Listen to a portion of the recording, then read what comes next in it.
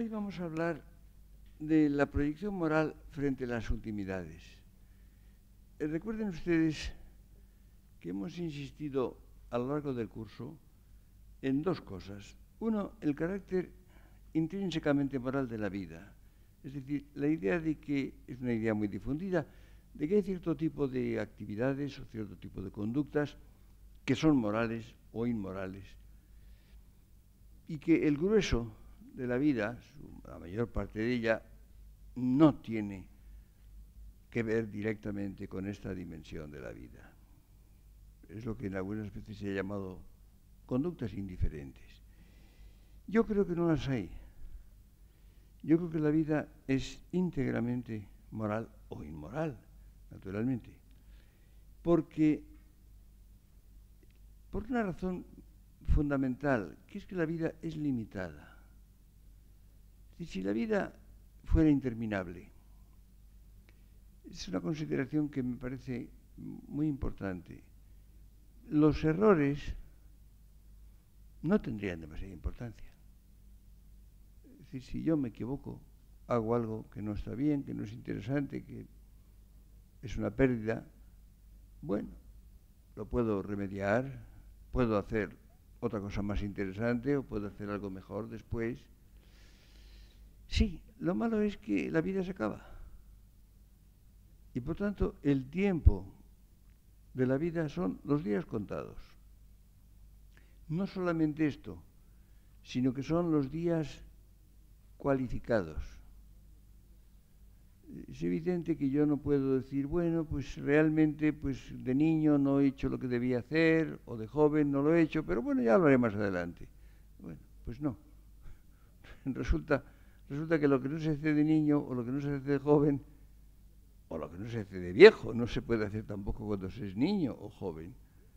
Es decir, que es una cualificación del tiempo humano. Y por consiguiente, no solamente es el tiempo irreparable en el sentido de que es limitado, sino de que su cualidad lo, modifica. Eh, yo he pensado a veces una comparación eh, bastante trivial, pero en fin, que nace de una experiencia que fue muy fuerte para nosotros, las gentes de mi edad, que era el racionamiento. Durante la guerra civil, por supuesto, y muchos años después había racionamiento. Es decir, no solamente se tenía dinero limitado, o limitadísimo, como era mi caso, para comprar las cosas, es decir, si uno compraba algo o hacía algo que no le interesaba, o invertía el dinero, por ejemplo, en un viaje y luego se aburría, no era agradable, pues era una pérdida. si una persona tenía muchos recursos, eso tenía buen remedio. Si un traje no le estaba bien, se compraba otro. Si un libro era un libro aburrido, lo dejaba y compraba otro más divertido. Si, hacía sino otro viaje. Pero en esa época hacía falta cupones de racionamiento, es decir, que estaban adscritos a cada tipo de realidad que había que adquirir, ¿no? Entonces no bastaba con tener dinero, hacía falta tener además cupones para adquirir aquello precisamente. Pues bien, esto es lo que ocurre con el tiempo cualificado, el tiempo de la vida. Esto por una parte. Por otra, he insistido también mucho en el carácter sistemático de la vida humana. Es de que no se trata de dimensiones aisladas. No se puede entender nada humano tomando una dimensión aislada. Es la vida como tal en su conjunto la que a última hora justifica las cosas. Y por tanto la moralidad afecta no solamente a todos los contenidos de la vida, sino a la vida en su conjunto. Hemos hablado con bastante detalle, por ejemplo, de la vocación como la forma eh, más expresa de la totalidad de la vida como tal, del quién que cada uno pretende ser. Ahora bien, si ustedes toman estos dos aspectos juntos, la limitación del tiempo y el sistematismo de la vida, nos encontramos con que el hecho de que esta vida termine es decisivo. Es absolutamente decisivo. El hombre no solamente es mortal, sino que es moriturus. No solamente puede morir, sino que tiene que morir. Y por consiguiente, la vida humana incluye su término. Esto es absolutamente decisivo. Esto se ha interpretado a veces en un sentido mortalista que me parece inaceptable. Es decir, en vista de que la muerte es necesaria y es inevitable, se ha pensado que es lo importante. Ah, no, esto es otra cosa distinta. Que sea inevitable, que sea necesaria, no quiere decir que la vida haya que entenderla desde la muerte. Yo pienso lo contrario. La muerte hay que entenderla desde la vida. Hay que alojarla en la vida. Es la fase final, la culminación y conclusión, en cierto sentido, de la vida. Pero evidentemente, por eso cuando esa expresión de, Heidegger, eh, Sein zum Tode, que se ha traducido mal como ser para la muerte, ni es ser ni es para, es estar a la muerte. Y con un giro coloquial español, el hombre está a la muerte siempre. A veces lo decimos cuando tenemos un gran peligro o pasamos una grave enfermedad, pero el hombre está a la muerte siempre, está, abierto a la muerte, está en posibilidad de morir, está expuesto a la muerte en todo momento. Esa es la condición humana. Pero eso no quiere decir que viva para la muerte. No, no se viva para la muerte. La muerte tiene que interpretarse, entenderse, alojarse en la vida. Y tiene que encontrar en ella su sentido y su justificación. a lo largo de las edades cambia muy fundamentalmente la, anticipación de la muerte. Ustedes saben, naturalmente, y lo sabe todo el mundo, que uno puede morir en cualquier momento. El, niño, hasta recién nacido, puede morir, el joven puede morir en cualquier instante, el viejo puede siempre vivir un día más, tal vez un año más, esa expresión latina mors certa, hora incerta, es eh, asombrosamente certera, realmente. La muerte es segura, la hora es incierta. No se sabe cuándo. Pero, naturalmente, durante la primera fase o las primeras fases de la vida, no se cuenta con la seguridad de seguir viviendo. No, se cuenta con algo muy importante que no se puede olvidar, que es la probabilidad de seguir viviendo. Es decir, la persona joven o madura no es que esté seguro de seguir viviendo, no, a lo mejor dentro de cinco minutos tiene un infarto o un accidente, pero le parece que lo probable es seguir viviendo.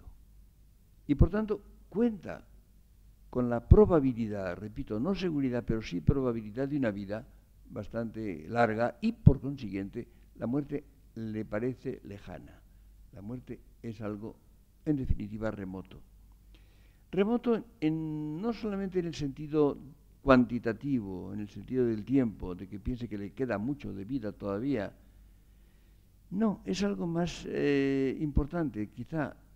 Y es que, por ejemplo, el joven, el joven piensa, que por supuesto puede morir en cualquier momento, pero probablemente no, va a morir dentro de 40 años, 50 años, 60 años, 80 años, según los casos. Y no puede imaginar quién es el que va a morir en ese momento. No se imagina. Es evidente que una persona joven no imagina el viejo que va a ser, no lo puede imaginar. Hay un momento precisamente que es la madurez, en la cual sí, ya la imaginación funciona. Eh, naturalmente la muerte aparece como probablemente todavía lejana, pero diríamos que el sujeto se siente ya aludido, va con él. No digamos eh, si se trata del viejo. el viejo sabe perfectamente bien que el que se va a morir un día, cuando sea, es él, él mismo. Y por tanto imagina esa muerte en concreto y por tanto ocupa, ocupa en su vida un puesto no solamente por cercanía, sino diríamos por identidad. Identidad con el que está pensando, con el, que está proyectando su vida. En nuestra época hay una tendencia muy curiosa, que es a eludir la muerte. Eludir la muerte no quiere decir lo contrario de eludir la muerte no es estar pensando en ella todo el tiempo. Esto, esto normalmente no se hace. Es contar con ella. Es contar con ella y es proyectar en función de ella. Yo he pensado muchas veces, he pensado incluso en una situación eh, dramática que sería excelente para una novela o para una película. Es el caso de una persona que tengo una idea incluso para, justificar el, argumento. Eh, me acuerdo que a Eduardo Mallías lo conté hace medio siglo y le gustaba mucho la idea y me pedía cuentas de por qué no escribía esa novela. Yo decía que la escribiera él, que es el que escribía buenas novelas. Una persona que por razones que, fueran, estuviera convencida de que iba a morir dentro de unos días. Supongan ustedes que ustedes pensaran, por alguna razón, creyeran eh, de verdad y en serio que iban a morir dentro de tres días estando en plena salud y por tanto funcionando bien. Bueno, yo creo que esos tres días los iban ustedes a vivir de una manera distinta, francamente distinta, porque iban a hacer ustedes cuentas de qué es lo que realmente les importaba. A lo mejor no iban a hacer, probablemente pues no hubieran ustedes venido a esta conferencia, hubieran pensado que iban a hacer cosas mucho más interesantes, o si ustedes tienen la vida por delante, pues ¿por qué no venir a esta conferencia? Pero si ustedes pensaban que les quedan tres días, evidentemente, los seguros que hicieran otras cosas. Y entonces verían ustedes cómo cambiaba la perspectiva de la vida, cómo aparecían las urgencias y las importancias y cómo algunos proyectos se desvanecían y no tenían interés y otros, en cambio, que habían quedado poco en el fondo y sin hacerles mucho caso, adquirían una importancia y un relieve extraordinarios. Pues bien, esto es lo que yo creo que tiene sentido simplemente cuando la muerte se incluye en el horizonte de la vida. Aunque no esté tan inmediata, aunque se cuele con que todavía se podrán hacer quizá cierto número de cosas. Entonces, es cuando la vida adquiere configuración precisamente por ver su término, adquiere configuración. Esto suele aparecer en forma negativa. Por ejemplo, el hombre cuando es maduro, cuando es viejo, no digamos, piensa que ya no va a hacer muchas cosas, que ya, a veces porque no puede, simplemente no puede. Otras veces porque no las va a hacer ya, porque, bueno, eh, le queda poco tiempo, tal. Pero hay el otro lado, el reverso, lo positivo, que son las cosas que tiene interés en hacer. Si ustedes pensaran que iban a vivir solamente tres días, tendrían interés en hacer algunas cosas en esos tres días. También se tiene interés en hacer algunas cosas cuando uno piensa que la muerte está próxima, más o menos próxima, y que va con uno, que se trata de uno mismo, que el que va a morir es uno mismo. Y entonces, como ven ustedes, esto le da a la vida una configuración. Pues bien, el desentenderse de esto, el olvidar ese factor decisivo que es la mortalidad, es una inmoralidad. Es rigurosamente una inmoralidad. Es vaciar de contenido y de figura la vida. Es escamotear algo que es absolutamente esencial a ella.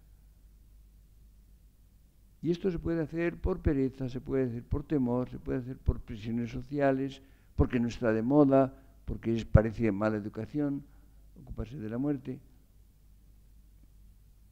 Con lo cual, insisto mucho, no es estar dando vueltas a la muerte todo el tiempo, no es eso, es contar con ella, es proyectar la vida incluyéndola. Esto esto es lo decisivo. Piensen ustedes que precisamente el hecho de que la vida eh, termine le da un valor a ese tiempo de que disponemos. Tiene un valor especial. nos obliga, antes lo decía, nos obliga a aprovecharlo, nos obliga a no desperdiciarlo, a no malgastarlo en cosas que no nos interesen. Ustedes piensen que normalmente en una vida cualquiera eh, dedicamos tanto tiempo y tanta atención a cosas que a última hora no son interesantes. y no nos parecen interesantes. No ya que no lo sean, sino que no nos lo parecen. Esto evidentemente es malgastar la vida, es, es desperdiciarla, en cierto modo destruirla. El hombre se pasa la vida haciendo una especie de suicidios parciales. La inversa es evidentemente establecer, diríamos, una jerarquía, una configuración, pensar que hay cosas que valen la pena y otras que no. Con lo cual imaginen ustedes hasta qué punto eso condiciona precisamente la, la moralidad de la vida. Eso es fundamental. Ahora bien, la muerte es una frontera. Es una frontera y no sabemos bien qué hay del otro lado. No podemos tener plena certeza. Podemos tener una creencia, podemos tener fe, por ejemplo. Desde el punto de vista puramente intelectual, no, no tenemos certeza, no podemos tener certeza, por la razón elemental de que se trata de ver si la vida humana es posible después de la muerte con otra estructura empírica. Sí, sí, pero como es empírica quiere decir que se conoce por experiencia. Y mientras no tengamos la experiencia, no podemos tener certeza, certeza intelectual. Otras sí. Esto, esto me parece eh, absolutamente esencial. Lo cual quiere decir que hay un elemento de inquietud, de zozobra, de incertidumbre, inseparable. Más aún, incluso en el caso de que se tenga otra fuente de certeza. Piensen ustedes, por ejemplo, en la fe religiosa. Una persona que tenga una certeza, una certeza total, no es muy probable, en nuestra época por lo menos, esa certeza total, sin, fisuras, compacta, pero aún suponiéndola.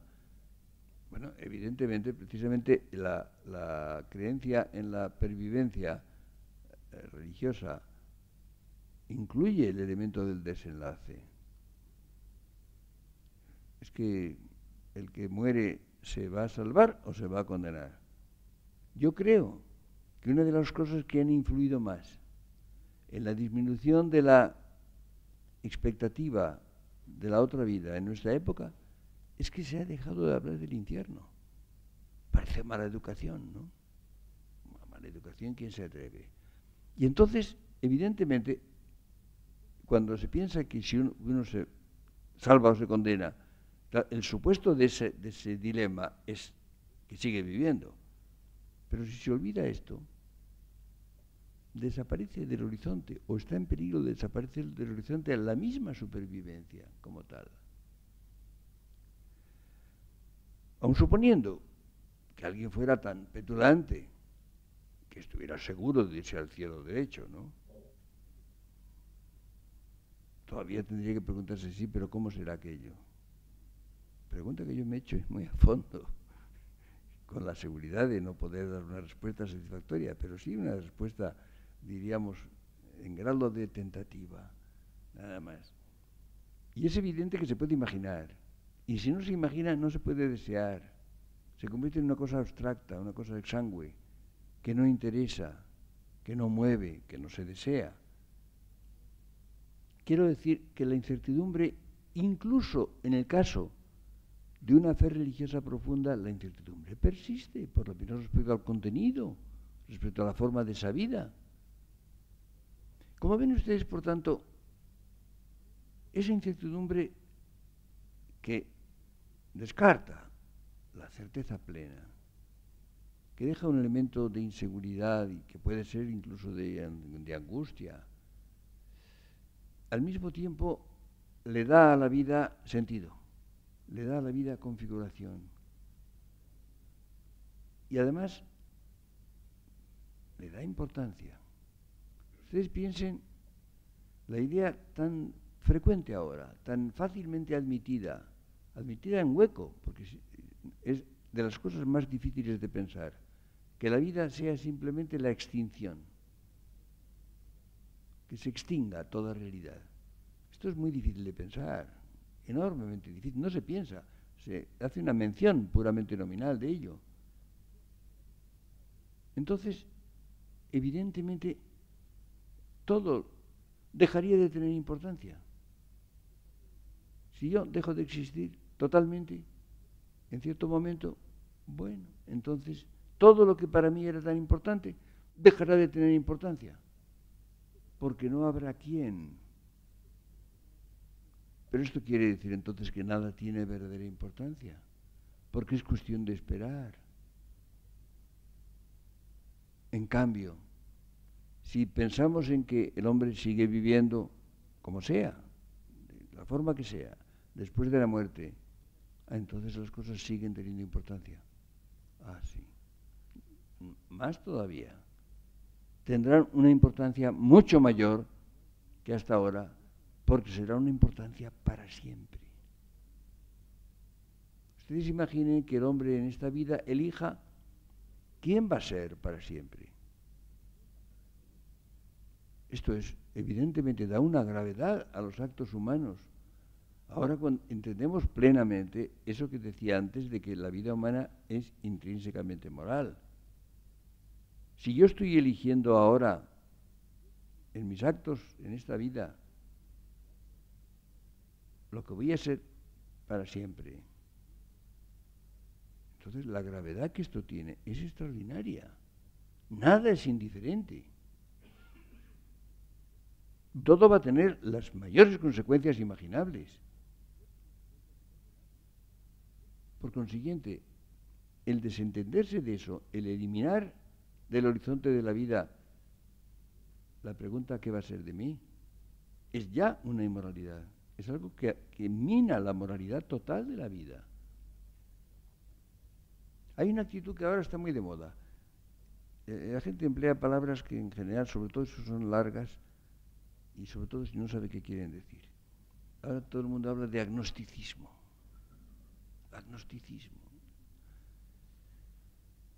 Si por agnosticismo se entiende que no se sabe, o evidentemente hay tantas cosas que no sabemos, había aquel que decía, con los libros que yo no he leído, ¿qué biblioteca se podría hacer? Pues hay que decir, con las cosas que yo no sé, ¿qué enciclopedia se podría hacer? Evidentemente, claro. El problema está en que haga falta saberlas o no. Hay muchas cosas que no sabemos ni falta que hace. Innumerables. Algunas sí importan, por ejemplo esta. Pero lo grave es que los que se llaman agnósticos no es que digan que no saben, es que dicen que no saben ni van a saber nunca. Ustedes saben que se decía ignoramus, y Dubois decía et ignorabimus, ignoramos e ignoraremos. Al que diga esto, yo le pregunto cómo lo sabe. es una pregunta que me gusta hacer. ¿Cómo lo sabe? Porque es posible que no se sepa algo, pero luego se sabe, se puede saber. Es decir, el, hombre sabe muchas cosas que no sabía hace cinco años, o hace un siglo, o hace diez siglos. Y ahora las sabe, porque se han descubierto técnicas nuevas, métodos nuevos, porque se han planteado las cuestiones de otra manera. Por consiguiente, es lícito decir no sé, pero decir no sé ni sabré, ah, esto es un dogmatismo. De la peor especie, porque es un dogmatismo negativo. El dogmatismo no es simpático, pero el, dogmatismo negativo es todavía menos simpático que el afirmativo. Como ven ustedes, por tanto, la cuestión es que tiene que ingresar en el horizonte de la vida y muy especialmente en el horizonte de la moral la cuestión de la muerte. Eso que se llama las ultimidades. Es decir, hay que entrar en últimas cuentas. El pensamiento tiene que plantearse las cuestiones últimas. Las cuestiones no últimas porque sean el final, sino porque son las radicales. Y esto evidentemente nos pone la cuestión en una perspectiva eh, distinta. Repito, condicionada en gran parte por la edad, condicionada, por supuesto, por los proyectos que nos constituyen, condicionada por el grado de atención, de imaginación que le prestamos. Porque la gente que dice yo no sé, hay que preguntarle si ha hecho algún esfuerzo para entenderlo. si ha hecho algún esfuerzo para comprenderlo. Incluso el reproche que yo he hecho con gran reverencia a Unamuno es que daba por supuesto que la razón no sirve para conocer lo que le preocupaba, es decir, el problema de la vida y la muerte o la pervivencia. Pero no hizo esfuerzo ninguno para ello, o muy poco. Yo creo que la misión del pensamiento es intentar llegar hasta el final intentar saber a qué atenerse respecto de la cuestión, la cuestión que llamaba Unamuno exageradamente la única cuestión. No es la única cuestión, pero es la más importante. Ah, claro. Si yo no sé qué va a ser de mí, ¿de qué me sirve todo lo que sé? A última hora, a última hora, no sé, no sé lo que hay que saber, no sé lo que me importa. No sé, con un cúmulo de saberes que me sirven en cierto modo para proyectar la vida, si no sé si va a terminar del todo o no, ¿cómo puedo proyectarla? ¿Proyectarla hacia qué? La puedo proyectar con una sombra de incertidumbre, con una duda, la puedo proyectar pensando que a última hora no tengo plena certeza, pero después de agotar las posibilidades todas, de saber a qué tenerme, que es lo que no se suele hacer. En otras épocas se ha descansado en una certidumbre recibida, una certidumbre recibida por la fe.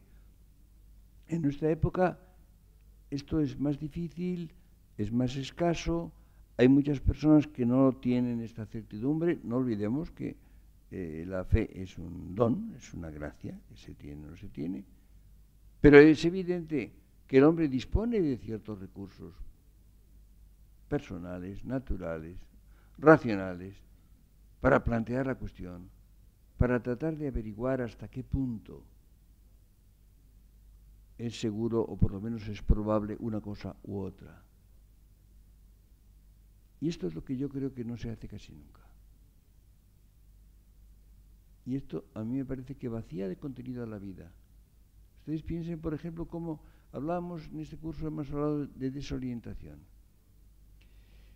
La desorientación que efectivamente es un carácter de las sociedades actuales, más que de otras épocas, sin duda. En gran parte obedece a la eliminación de la cuestión. Es decir, el hombre de nuestra época propende a cerrar los ojos frente al hecho de su condición mortal. Y entonces, evidentemente, lo que hace es darle un carácter de penultimidad, de provisionalidad a la vida. Precisamente si tomamos en serio la expresión ultimidades, si las ultimidades se eliminan, todo es penúltimo. Y se mueve uno en la penultimidad. Y es evidente que el hombre dispone de ciertos recursos, insisto, puramente intelectuales, puramente naturales, para plantear la cuestión, para intentar pensarla. Porque es muy fácil, evidentemente, dar por supuesto algo, dar por supuesto, bueno, si el hombre sigue viviendo, hay, personas que tienen una fe, digamos, eh, rutinaria y más bien nominal y dan por supuesto que sí, que naturalmente después de la muerte seguirán viviendo, y hay otras personas que dan por supuesto con la misma frivolidad que cuando llega la muerte se acaba todo y no hay más bueno, ninguna de las dos posiciones me parece sólida, ni me parece seria, ni me parece algo en lo cual la vida eh, se ponga en serio consigo misma y trate de entender. Es decir, son actitudes en el fondo inmorales. Las dos. Las dos porque son pensar una situación u otra en hueco. Ustedes piensen, por ejemplo, esa idea de la extinción, esa idea de, la extinción, no es sostenible. Es muy difícil de pensar. En, español, por ejemplo, nadie dice muero. Todo el mundo dice me muero. Me muero, me estoy muriendo, me voy a morir. Es, es lo que decimos en español. Lo mismo que decimos me voy a dar un paseo, o me voy a comer una manzana, o me estoy comiendo una manzana. Es decir, el español personaliza las acciones humanas, las hace personales. El español tiene, por ejemplo, este verbo extraordinario que yo hace muchos años he comentado, el verbo desvivirse, un verbo negativo respecto de vivir que además es pronominal o reflexivo, como se decía antes. Desvivirse, es un verbo extrañísimo. Intente decir esto en cualquier lengua, verán los apuros que pasan. Pues bien, eh, yo no recuerdo, no recuerdo más caso de, de, usar un giro como el español en una obra de Ionesco que se titula Le roi se meurt. El rey se muere. Eso no es francés, eso no se dice en francés.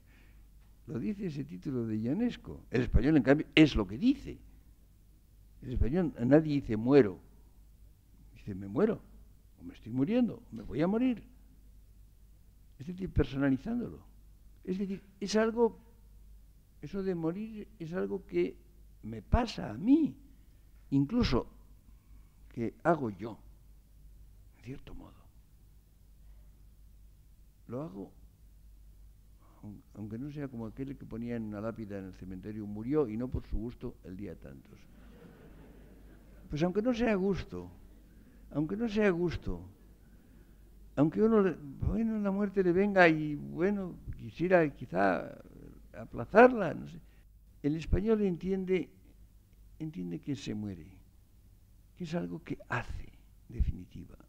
Es decir, que toma su vida en sus manos y va a vivir la muerte, va a vivir ese final. Ustedes saben, por ejemplo, que los griegos, sobre todo los epicúreos, hacían un razonamiento, racionamiento muy especioso para evitar el temor a la muerte. Decía, es que cuando yo estoy vivo, pues no hay muerte, y cuando la muerte llega, no estoy yo. Bueno, sí, claro. Eh, no creo que a nadie consuele mucho esto, ¿no? Es un razonamiento bastante especioso. Si no nos encontramos la muerte y yo, pues sí, yo creo que sí que nos encontramos. Y eso es lo que da cierto temor y cierta la expectativa de la muerte evidentemente tiene un fuerte dramatismo. Dramatismo que puede, puede ser esperanzado o no, o más o menos esperanzado, o dudoso. No doy el problema por resuelto. Lo que reclamo es el problema. Lo que reclamo es la pregunta. Las soluciones pueden ser varias y son problemáticas, evidentemente. Sí, sí. Pero lo que no se puede hacer es eludir las preguntas. Si se quiere vivir moralmente. Lo otro es una especie como de renuncia. Porque además, evidentemente, uno puede entender muy bien en qué consiste, en qué consiste la muerte, la muerte biológica, evidentemente. Fíjense ustedes que se parece enormemente ya al sueño, imagen espantosa de la muerte, se ha dicho, ¿no? Pero no digamos al coma, el coma profundo. En coma una persona está como, como muerta. Sí, pero resulta que no. Resulta que puede volver. Se puede salir del coma. Que no es, que no es resucitar. No es resucitar es volver a tomar posesión de las condiciones normales, de las facultades de la vida. Es decir, la vida puede tener interrupciones y continúa. Esto es, esto es bastante importante. No, se puede dar por... Entonces, la, la idea de la muerte orgánica eso sí es muy comprensible. La, gente se queda muy tranquila cuando dice que tiene un, electrograma plano. sí, pero el problema está en que yo no soy un electrograma. Yo soy yo. Yo soy un quién. Soy una persona. Soy un proyecto. Soy una memoria. Soy una realidad imaginaria, pura posibilidad, no realizada y que quizá no se realice. Lo mismo que veíamos como la aparición de una persona, el nacimiento de una persona, es la aparición de una realidad nueva, rigurosamente nueva, absolutamente nueva, irreductible al Padre y a la Madre y a los antepasados y al cosmos entero. Decíamos, eso es creación. ¿Eso qué quiere decir creación? El creador no está disponible, no lo vemos, pero el resultado es un acto de creación. Pues diríamos lo mismo, la desaparición de una persona, la muerte de una persona, sería una aniquilación. Ahora, pensar la aniquilación de una realidad, ah, esto es otra cosa. No es un proceso físico-químico. Ah, no es eso. Es que hacemos el esfuerzo de intentar pensar qué quiere decir, qué puede ser la aniquilación de esa realidad que es persona, que es yo, tú. Como ven ustedes, las incógnitas son muchas, los problemas son sumamente difíciles. No está dicho en ninguna parte que se pueda llegar a una situación plenamente satisfactoria. Pero es que no hay cierto número de evidencias. Es que no sabemos qué es vida humana cómo es la vida humana, qué quiere decir ser persona. Eso sí lo sabemos. Lo sabemos mejor que nunca en toda la historia. Es algo que se sabe mejor este siglo que, se ha sabido en toda la historia anterior. Se han dado pasos absolutamente decisivos. Se toma posesión de ellos, se lo pone en juego para vivir. Rara vez, muy rara vez. Y entonces nos encontramos con que se le da a la vida, precisamente por eso, un carácter de ilusión de lo importante. Lo eludimos, lo evitamos, lo relegamos a una especie de fondo oscuro en el cual eh, casi no queremos entrar. Y yo creo que es fundamental hacer el recuento de lo que realmente sabemos, de las evidencias que sabemos. Por lo pronto, la diferencia, la, distinción radical entre yo y mi cuerpo. Evidentemente soy corpóreo, no faltaba más. Soy alguien corporal.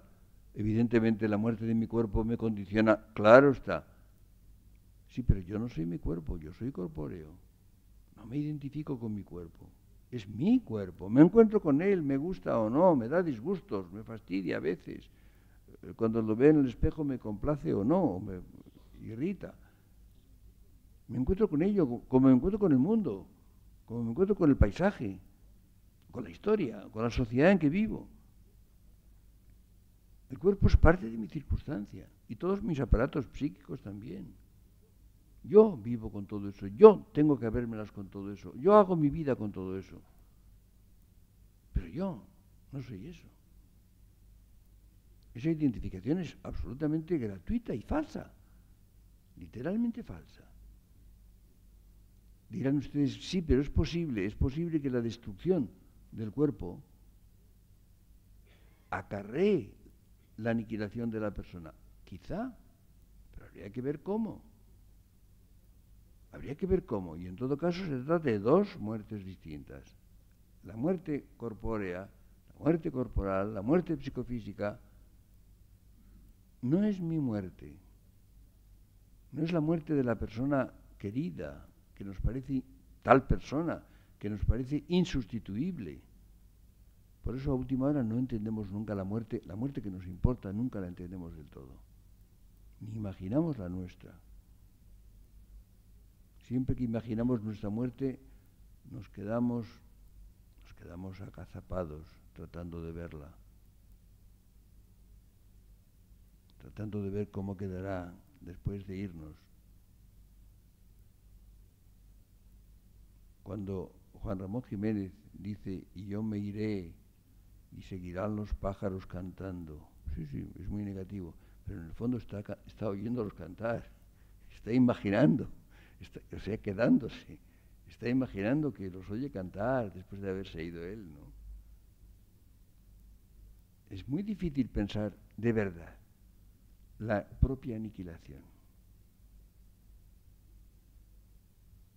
Ven ustedes, por tanto, cómo la proyección en que consiste la vida humana incluye las ultimidades, incluye absolutamente la necesidad de plantearse la cuestión. Repito, la respuesta ya es otra cosa, la respuesta es difícil, es problemática, puede haber varias que requerirían su justificación, probablemente desde el punto de vista intelectual su parcial justificación. Pero si no se plantea, la vida en cierto modo se vacía de contenido. Y piensen ustedes, ha sido una idea constante a lo largo de este curso, hemos dicho cómo a la vida le pertenece la exigencia de intensidad. Hemos visto que una vida intensa en esa medida es moral. Una vida sin intensidad es inmoral. Lo peor que se puede hacer con la vida es no vivirla o vivirla a medias, vivirla lo menos posible. Hay mucha gente que ah, se ahorra frente a la vida, que no se embarca en ella, que no pone su vida a una u otra carta, en todo, en todas las dimensiones de la vida que trata de vivir, no sé, diríamos como de puntillas. Esto es inmoral. Yo creo que es en el fondo el núcleo mayor de la inmoralidad. Como ven ustedes, por tanto, mm, no les puedo ofrecer, bien lo siento, una certidumbre plena. Lo que les muestro es la inevitabilidad de la pregunta de plantearse la cuestión. Una moral que no se enfrente con las ultimidades es una moral truncada, deficiente, una moral que no es plenamente moral. Se puede llegar a una conclusión o a otra, o se puede no llegar a una conclusión, pero hay que plantear el problema en sus términos verdaderos y haciendo el esfuerzo de aprovechar todo lo posible, toda evidencia. Hay que hacer el recuento de las evidencias. Es muy cómodo decir no sabemos. No sabemos qué, haciendo un gesto así envolvente. ¿Y por qué no preguntar qué sabemos? Sabemos algunas cosas, sabemos bastantes cosas. Lo importante es tomarlas en serio, incorporarlas a la vida hacer que funcionen en nuestra proyección hasta el final. El próximo martes terminaremos este curso.